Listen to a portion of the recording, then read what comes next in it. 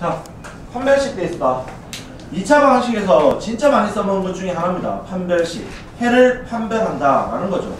뭐 제대로 얘기한다면 해를 판별한다기보다는 해 개수를 판별한다. 자, 그래서 해의 개수가 2차식이면 일반적으로 두 개가 나올 텐데 맞죠? 두 개가 아닌 한 개처럼 보이는 중근이 나올 수도 있고 또는 없을 수도 있다. 라고 배웠어. 중3 때는 맞지? 근데 이제 없다는 없어요. 자, 지난번에 우리 중3 때 배웠을 때 어떻게 됐냐면 D가 0보다 크다, 같다, 0보다 작다, 판별식을 D, B제곱 마이너스 4시 하잖아. 맞지? 얘의 기준은 뭐였냐면 근의 공식 안에서 루트 안에 있는 놈이었어. 기억납니까? 근의 공식 안에 루트 안에 이런 놈이 있었단 말이야.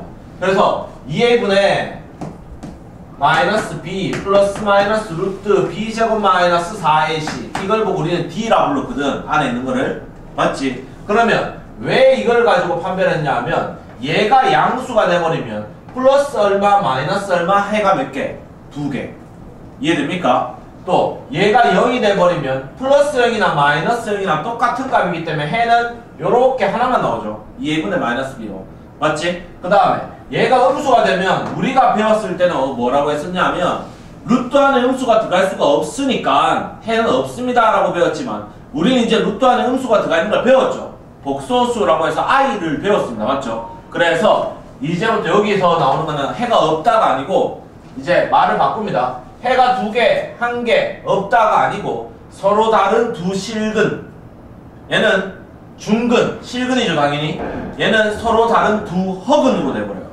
알겠니? 허근이 뭔지 알죠 이제? 허수의 근입니다. 자 그런 식으로 만들어진다라는 겁니다. 그래서 b제곱 마이너스 4의식을 쓰고 당연히 4분의 d 또 나옵니다 우리 흔히 얘기하는 방근의 공식인데 왜 방근의 공식은 2로 나눠서 정리했던 거잖아 중간 거를 맞지? 근데 왜 4로 나누냐? 루트 안이니까 4로 나누는 케이스가 돼버려요 밖에서 2로 나눈 거는 루트 안에서는 어 4로 나누는 케이스가 돼버리니까 이해되겠어요? 정리됩니까? 그래서 4분의 d라고 한다 그래서 일단 판별식에 관한 내용이 문제가 좀 중요하기 때문에 자 한 번 더 설명할게요 자 그래서 근의 판별은 금방 설명한 대로 5번엔 d가 0보다 크다 하면은 서로 다른 두 실근. 이제 이렇게 돼. 해가 두 개요. 하면 안 돼요. 됐죠? 허근도 두 개가 나올 수도 있기 때문에. D가 0이면 중근, 같은 두 실근. 그 다음에 D가 0보다 작으면 허근. 그래서 문제에서 언급할 때가 있어요. 어떠한 2차 방정식이 실근을 가질 조건이라고 하면 얘도 실근이고 얘도 실근이기 때문에 판별식 D는 0보다 크거나 같도록 풀어줘야 되고 해가 두 개인 두, 저, 서로 다른 두 실근을 가진다 하면 D는 0보다 커야 돼요 됐죠? 이런 식으로 서로 다른 두 허근을 가진다 하면 파미스티는 0보다 작게 만들어줘야 됩니다. 이러한 조건이 필요하다는 겁니다. 그리고 만들어지는 거 완전 작업식이 되기 위한 조건 완전 작업식이 뭐냐 하면 똑같은 식을 두 번 곱해서 만들어진 식이죠.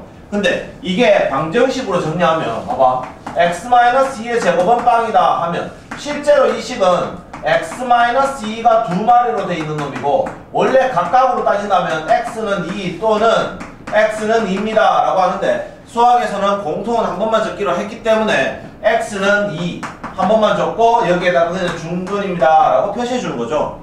맞니? 그래서 판별식 d가 0이면 중근. 그러니까 완전 제곱식과 중근은 무조건 같이 따라다니는 놈의 세트입니다 세트 그래서 아 얘가 완전 제곱식이다 라고 하면 d는 무조건 빵 돼야 됩니다 알겠어요? 뭐 이런 식으로 나오는 케이스입니다 자 그래서 뭐 내용상으로 봤을 때는 크게 어려운 문제는 아닙니다 계산하기 쉽습니다 이거는 중학교 때 다 했던 거고 단순 계산이기 때문에 어렵지 않아요. 자, 한번 보도록 할게요. 자, x에 대한 x에 대한 2차 방식이 있어요. 자, 2차 방식이 다음과 같을 때 근을 자, 가질 조건입니다. 지금 실두 실근을 가질 때, 중근을 가질 때, 서로 다른 두 허근을 가질 때 이거에 따라서 식을 만들어 봐라 이 말인데 어차피 내가 알고 있는 건 얘는 판별식 d가 뭐가 돼야 되고 0보다 커야 되고 얘는 판별식 d가 0이 돼야 되고 얘는 판별식 D가 0보다 작아야 되니까 나는 D만 구해도 되지 지금 D 구한 다음에 나중에 부동만 반대로 해주면 돼요 맞죠? 맞지? 자 판별식 D 구하는데 요 앞에 봐봐 일부러 문제에서 짝수로 만들어 놨어요 B의 개수가 맞죠? 그래서 우리는 뭐로 써도 된다?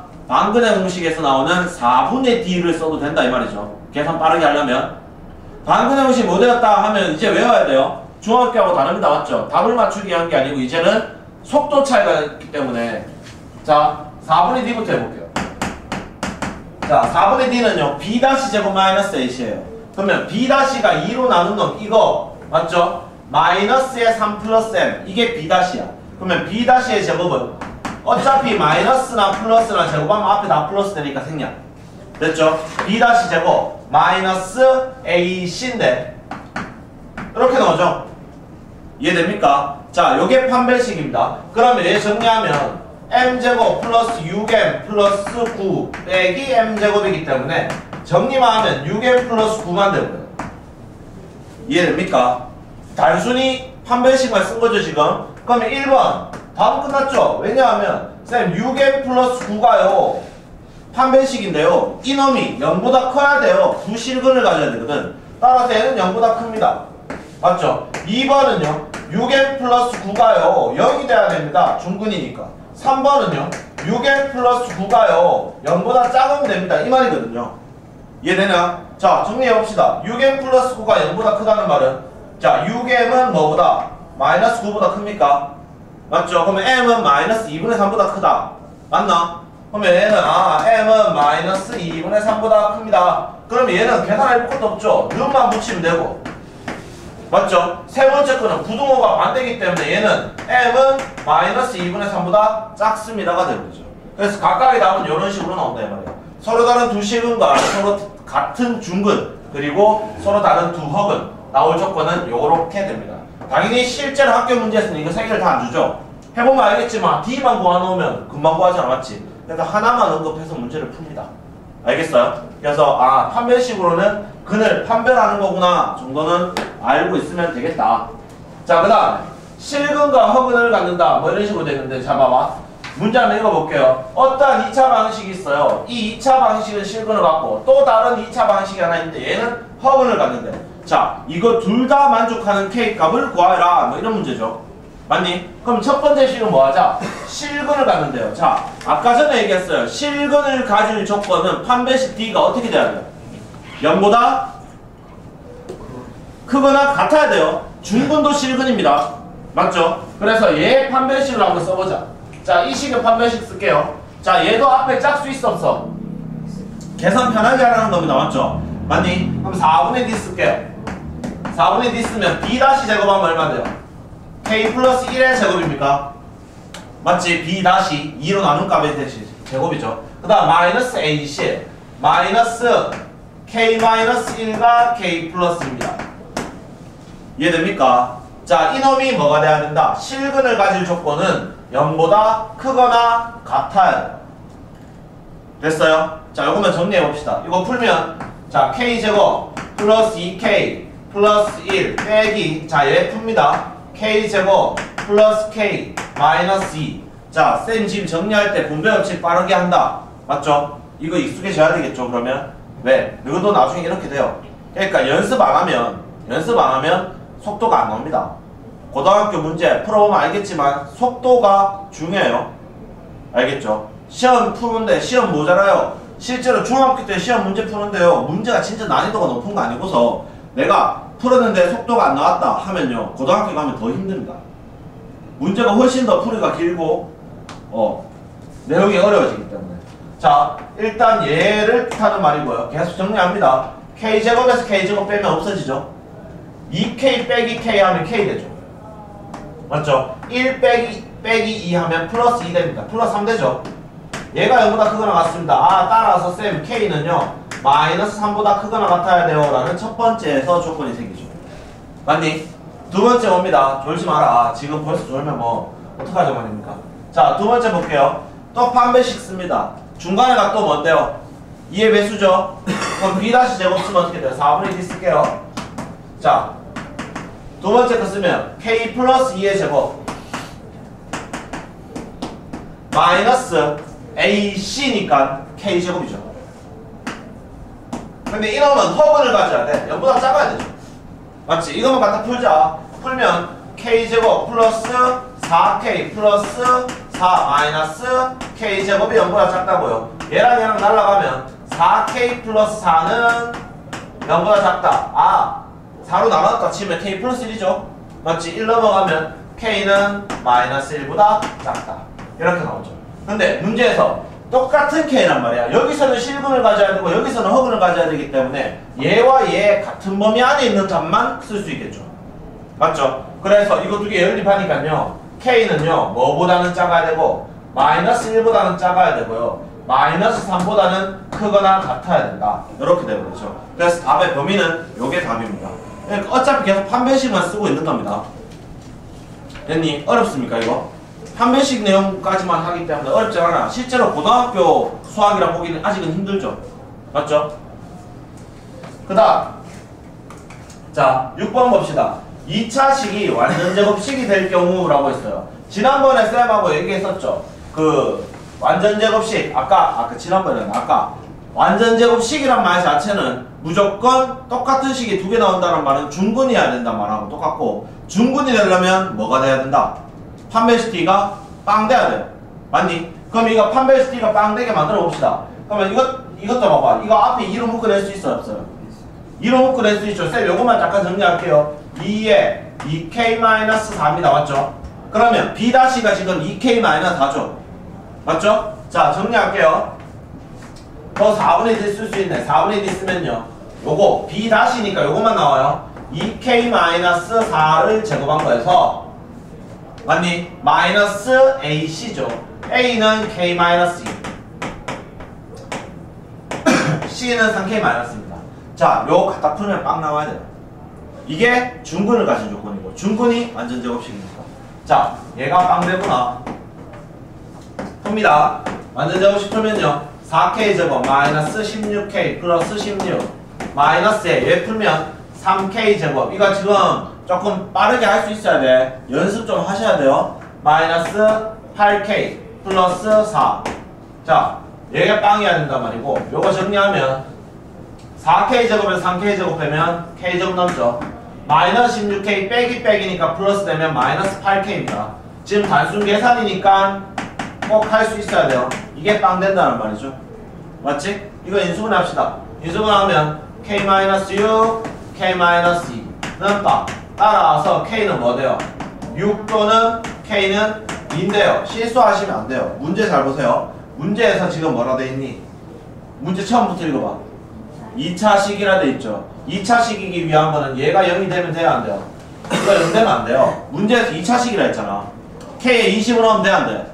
안 돼. 따라서 이 식은 날아가는 겁니다. 그래서 이 문제에서 만족하는 K 값은 얼마다? 6입니다. 이해되겠어요? 그 다음 또 마찬가지인데요. 잘 봐. 이거는 앞에서 배웠던 항등식하고 똑같은 개념이에요. 자, 봐봐. x에 대한 어떠한 2차 방식이 있어요. 근데 2차 방식이 k의 값에 관계없이 중근을 가진다라고 됐죠. 맞니? 2차 방정식이 k 값에 관계없이 중근을 가진대. 일단 결론적으로 k 값이 뭔지 몰라도 얘가 중근을 가진단 말이잖아.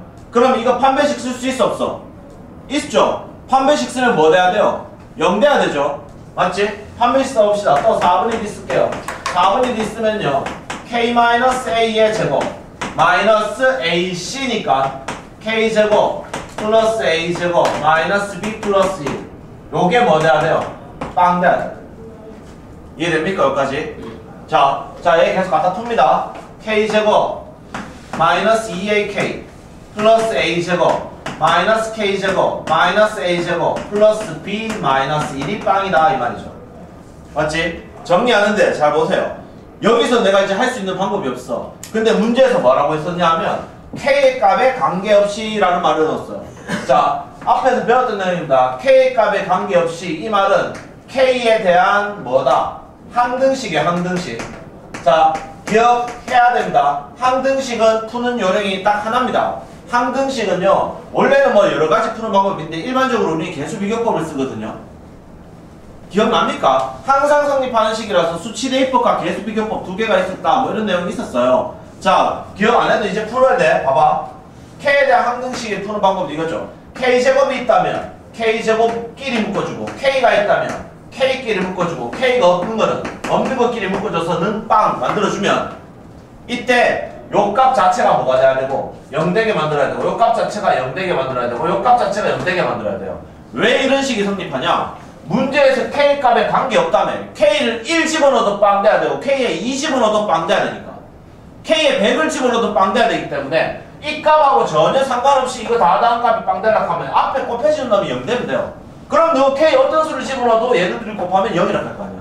맞지? 그래서 얘가 지금 K 값에 관계없이 라고 했기 때문에 이것도 마찬가지 항등식으로 정리시킵니다. K제곱 빼기 K제곱 날라갔죠? 그럼 남는 거 지금 뭐였어요? K 있는 거 요거 하나 있나? 맞죠? 그럼 내가 정리할게요. 마이너스 2A의 K죠. 항등식으로 정리하는 거야. 자, 그 다음에 K 없는 거 정리할게요. A제곱 마이너스 A제곱 날라가나 이거? B 마이너스 1이죠 이거. 이해됩니까? 자, 이게 빵 돼야 된단 말이고 결론적으로 아, 쌤 이게 K에 대한 항등식이니까 이놈도 0이 돼야 되고 이놈도 0이 돼야 된다. 그래야 K에 어떤 수를 집어넣어도 빵이 될 테니까요. 맞니? 이해돼요? 결론 아, 쌤 이거 푸니까 A는 얼마 돼야 되고요? 0이어야 되고요. 자, 써는이 아니고 B는 얼마 돼야 돼 무조건? 1 돼야 되죠. 그래서 A와 B의 값을 구하라 라고 나왔기 때문에 내용은 이런 식으로 나온 거죠. 항등식 파트는 할만합니다. 왜냐하면 중학교 3학년 때도 배웠던 내용이고 맞죠? 그래서 조금 이제 계산만 빨라지면 되겠죠.